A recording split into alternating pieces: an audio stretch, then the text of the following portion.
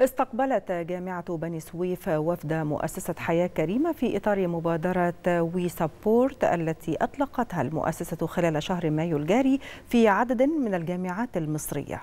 تهدف المبادرة إلى الانتشار والتواجد مع الطلاب خلال فترة الامتحانات حيث تم توزيع 1228 من الأدوات والهدايا على الطلاب كرسائل تحفيزية.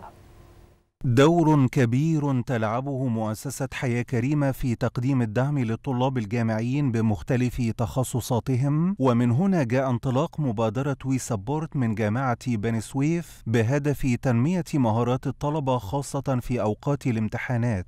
إحنا النهارده في جامعة بني سويف إحنا بنشتغل مع الطلبة لأن دول أساس المجتمع المصري. بنديهم دورات تدريبية حياة كريمة معاهم في كل مجالاتهم.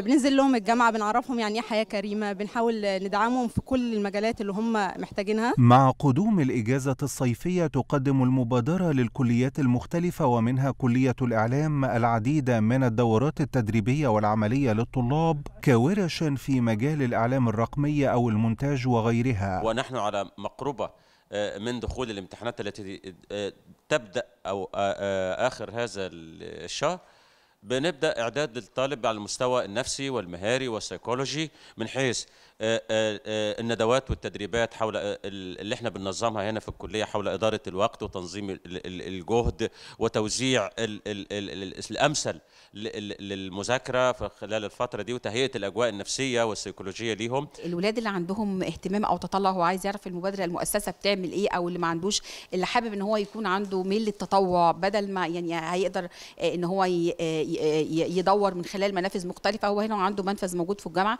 يقدر إن هو من خلاله يتواصل ويعرف لو هو يقدر يشارك بأي أنشطة تطوعية. وتقديرا لدورها تم استعراض إنجازات مؤسسة حياة كريمة في السنوات الماضية وما قدمته الدولة لخدمة الشباب وذلك في إحدى مناقشات مشروعات التخرج لطلبة الكلية. المبادره دعمتنا إن هي إن هي مثلا قدمت لنا حاجات كتيرة جدا وخلتنا نتواصل مع ناس كتيرة ناس كتيرة جدا وفي الكلية هنا بيبقى في ندوات كتيرة جدا خاصة بالمبادرة وأي أي حد محتاج دعم بيبقى في ندوات كتيرة جدا لكده. الدعم زي ما هو أهم من يكون مادي الدعم النفسي مهم جدا.